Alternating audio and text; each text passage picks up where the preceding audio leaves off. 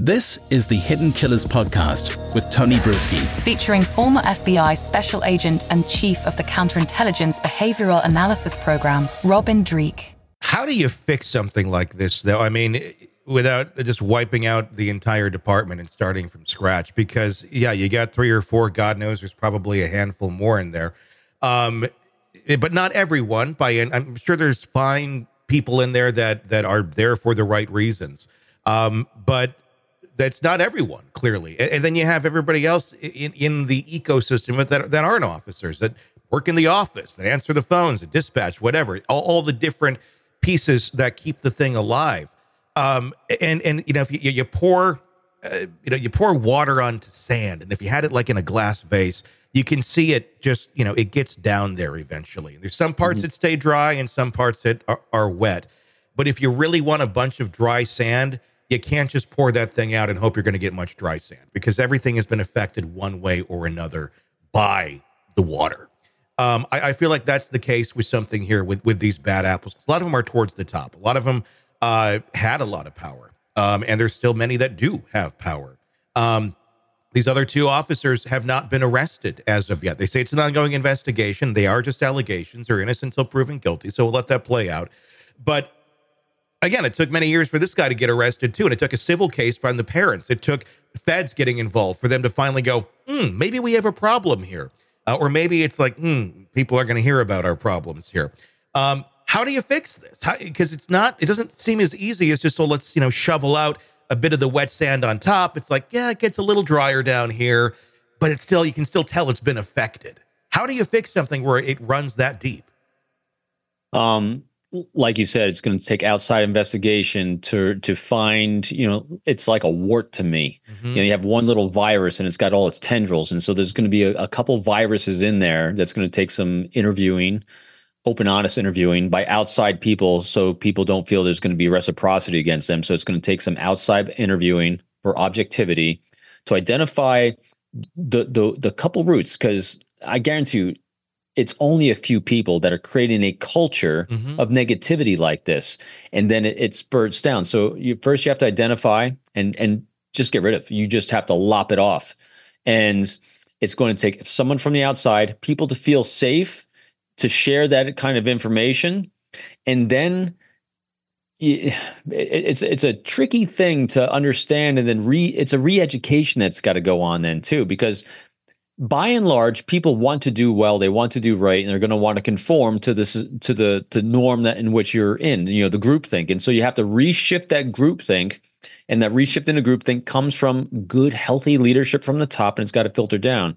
And and the the most critical thing in a situation like this is the fear of reciprocity for being truthful is got to be very very well done because you have to get people over that fear. Because again, fears are motivation for everything. If people are in fear, they're going to either shut up, conform, or go away. Mm-hmm. And so when you have that bad leadership from the top, that's what they're doing. They're either shutting up, conforming, or going away.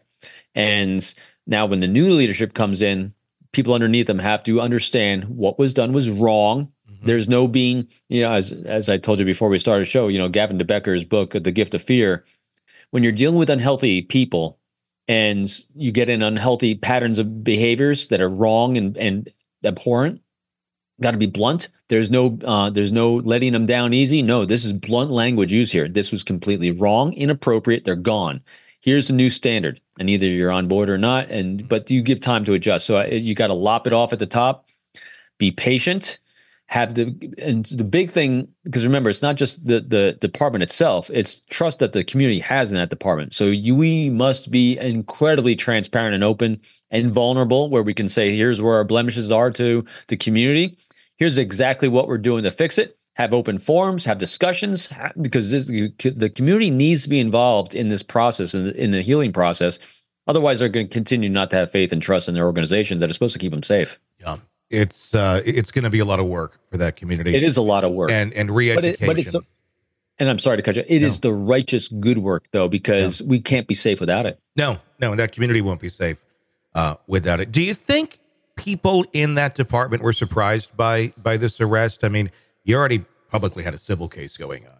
You had the rumors. You had all of this, and yet stayed there, stayed employed. I mean, is it one of those things where as humans, if you're working in that department and you're and you're not one of the bad apples, and I hate again, I hate that term. Um, but if you're not one of them, but you're hearing these things, is it just the human nature of like it can't be that bad? Rumors get spread. Rumors are this or that, but it, but he wouldn't be doing that. That wouldn't be that far. Do you think there's some of that that goes on as to it almost that, that attitude can kind of enable this sort of stuff because people don't want to necessarily believe the absolute worst in people that they they surround themselves with every day. It, um, interesting word choices in there. I think you know, surprised by the arrest, probably. Surprised by the behavior that led to the arrest, probably not. Mm-hmm. This was going on a long time, and what happens is when people are exposed to negative bad behavior for a long period of time they become accustomed to it becomes their it becomes their norm yeah. kind of like even the gilgo beach murderer you know the serial killer that family. Got very used to a pattern of behavior of really bad crap supposedly yeah you know and so it becomes the new norm and so this department had a norm that is happening inside because these girls were groomed a long time by at least three people yeah. at least allegedly so allegedly. that's that's so i think what happened was when there was an arrest, that's what the shock was, not the behavior. The arrest was a shock. And I'm hoping, because I mean, I put myself in a situation, this is where we use our deep, great empathy here.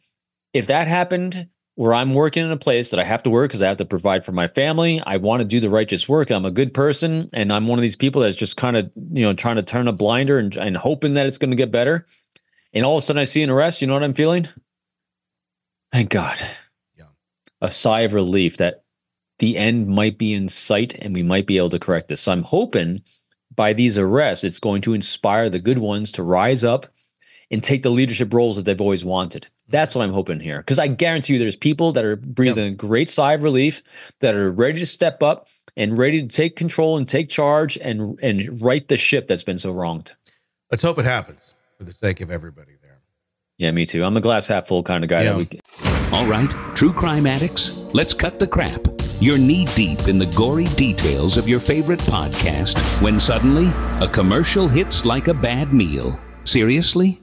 You deserve better. Upgrade to True Crime Today Premium Plus on Apple Podcasts, where you can binge without those annoying ads. Plus, get extended interviews that go deeper into the darkness and early access to episodes so you can be the first to know. It's like trading up from fast food to fine dining, but with more blood. So go ahead, search for True Crime Today Premium Plus on Apple Podcasts, subscribe, and feast on the good stuff.